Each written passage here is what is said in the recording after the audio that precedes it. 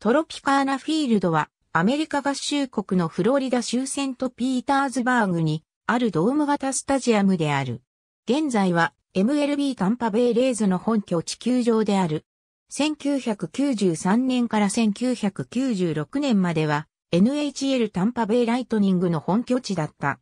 現在、メジャーリーグで運用されている唯一の密閉式ドーム型スタジアムである。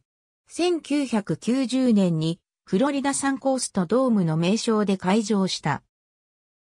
その後、サンダードームを経て1998年にトロピカーナプロダクツ社のネーミングライツによりトロピカーナフィールドとなった。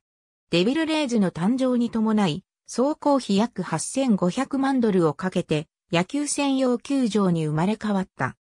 それ以前はアイスホッケーやアメフトをはじめ、バスケットボールやテニス、自動車レースなど計16種目もの競技が行われていたが、野球専用化に伴い、選手の負担を考慮して、最新式の人工芝を導入し、ダイヤモンドを除く内野部分はアンツーカーへと改装された。ありがとうございます。